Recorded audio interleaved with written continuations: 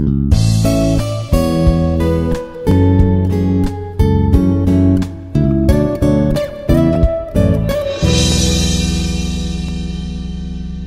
everyone, I'm Dr. J. Suresh Associate Professor in Department of Mathematics, Institute of Aeronautical Engineering.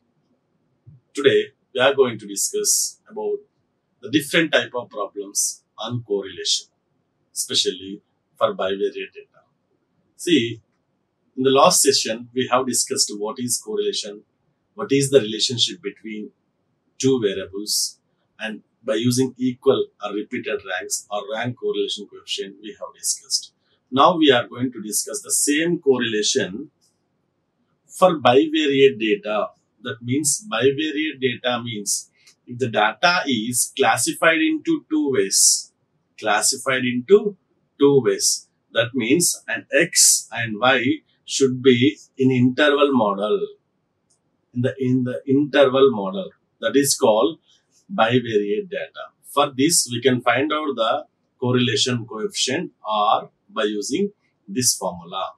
What is the formula? Sigma fxy minus sigma fx into sigma fy by n, where n is total number of paired observations. Number of paired observations. By under root of product of 2 sigma fx square minus sigma fx whole square by. Same like sigma fy square minus sigma fy whole square by. Right? So this is the formula to find the correlation coefficient for the bivariate data. Bivariate data means the x and y values are given in interval mode. See in the previous problems or in the previous session, we can, we have done the problems on only one interval values remaining are integer values. But here we are going to discuss the correlation coefficient for x and y both two are interval values. Again I am repeating the formula R equal to sigma fxy minus sigma fx into sigma fy by n by under root of sigma fx square minus sigma fx all square by n into same concept sigma fy square minus sigma fy by n all square. Here, some f is frequency and capital X equal to small x minus x bar, capital Y equal to small y minus y bar. But small x and small y are the values of interval. In that case, we can use capital X equal to m minus mid value by difference between interval. Similarly, capital Y also same m minus mid value by difference of the interval for corresponding y values and f is a frequency. So, this is the formula to find out the correlation coefficient for bivariate data. Suppose if I take one problem on bivariate data, calculate the coefficient of correlation or we need to find out between the marks obtained a batch of 100 students in two different subjects, accountancy and statistics. See, marks in statistics range is given. This is if you assume y and marks in accountancy values are given. Marks in accountancy x and marks in statistics are y. That means this is 15 to 25. Here we have 20 to 30 range interval, 30 to 40 range, 40 to 50 range, 50 to 60 range, 60 to 70 range. Here 15 to 25, 25 to 35, 35 to 45, 45 to 55, 55 to 65. These are the different frequencies. Small f values. That means the students got marks in statistics between 40 to 50 and between 15 to 25 is 3 members. The total members this is. And total number of students are 100. See, observe that x values are given interval, y values are also given interval. So, we can find out correlation coefficient by using bivariate data formula. What is that? Sigma fxy minus sigma fx into sigma fy by n by under root of sigma fx square minus sigma fx whole square by n into same sigma fy square minus sigma fy whole square by n. Okay, see. For this we need to find out all the values x values are given 20 to 30, 30 to 40, 40 to 50, 50 to 60, 60. And small y values are also given. First, you find out mid value for this 25, 35, 45, 55, 65. Small x mid value. Similarly, small y mid values 20, 30, 40, 50, 60. I told you that we need to find out capital X and capital Y. Capital X value m minus mid value by difference between intervals. M. What is the mid value for this? Out of these five values, 25, 35, 45, 55, 65. Exact mid value is 45. So m minus 45 by difference between the interval. What is the difference between the interval? 10. Sometimes you may get six values. In that case, you can take any one of the mid value. Now, capital X formula m minus 45 by 10. That means m mid value 25 minus 45 by 10 minus 2, 35 minus 45 by 10 minus 1, 45 minus 45 by 10 0, 55 minus 45 by 10 1, 65 minus 45 by 10. Capital X values we got it.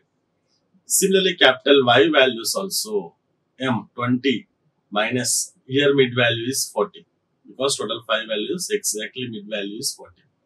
20 minus 40 by 10 minus 2, 30 minus 40 by 2 minus 1, 40 minus 40 by 10 0, 50 minus 40 by 10 1, 60 minus 40 by 2. Okay.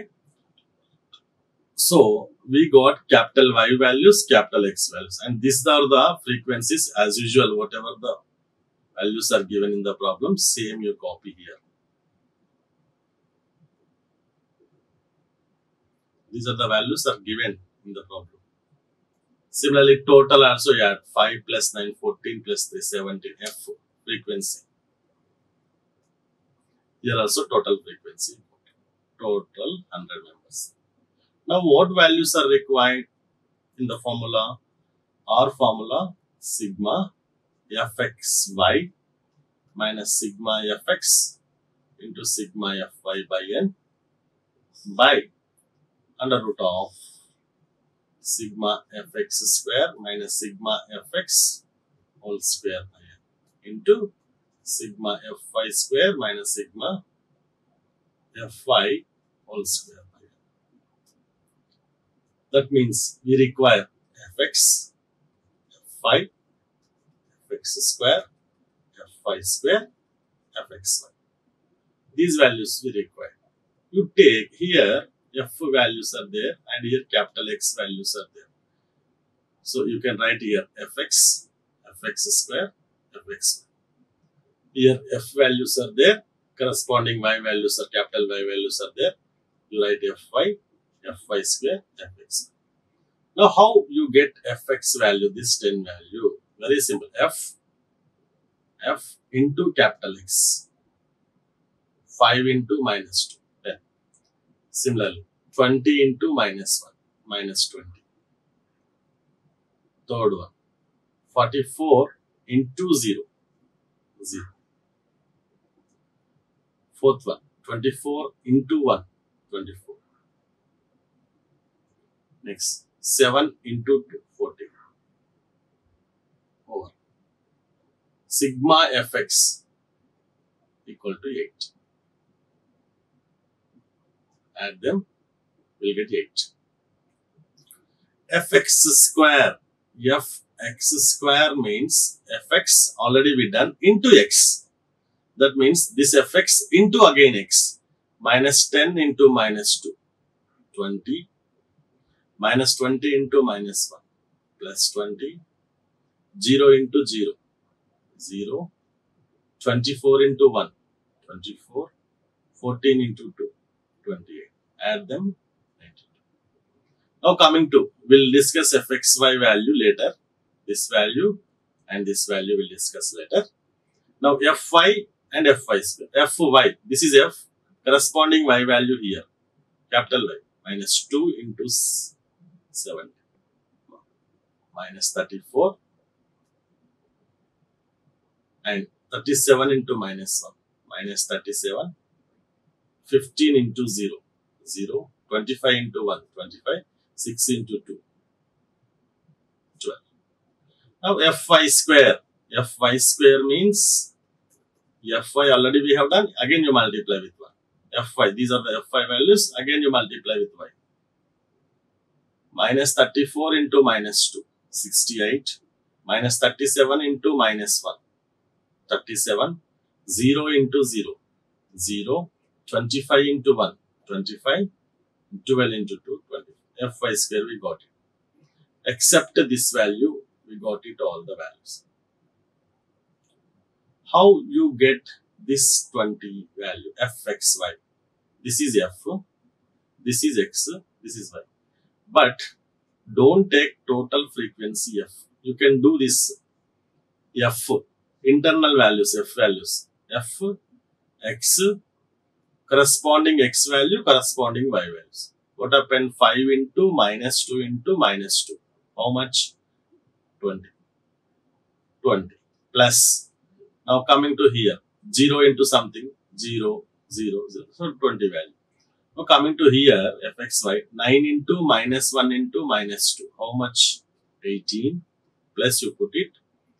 10 into minus 1 into minus 1 10 now coming to 1 1 into minus 1 into 0 0 remaining dashes are there. That means zeros which is 28 put it 28 now fxy 3 into 0 into minus 2 0 25 into 0 x is there 0 no that's why we can take here 0 now this is 0 this one 2 into 1 2 minus 2 minus 2 2 ones are 2 0 plus 0 plus 16 16 ones are 16 plus 1 16 into 1 16 plus 4 left. 4 into 1 4 into 2 8